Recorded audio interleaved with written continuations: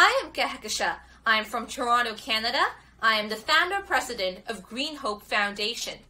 I believe that we need to learn for our planet because our future is at stake and we need knowledge to take action.